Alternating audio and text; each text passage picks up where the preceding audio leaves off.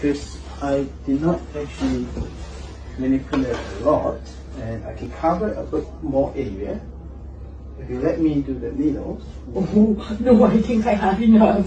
you just two needle, you walk around over here and it will help you loosen it up. Yeah. Put the needle. No, no, no. No, no, no, no. Take a needle. Yeah, take out. Okay. Yeah.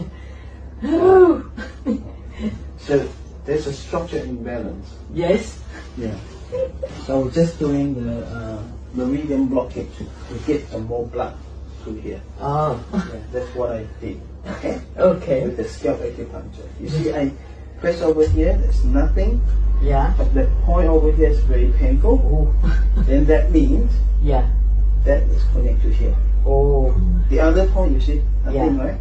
It just, you know, immediate relief, but It keep coming back. it, it keeps coming back. Yeah, Now, it's much better because when I had to travel back, mm-hmm. I could hardly walk. I have to get the support from him. Okay.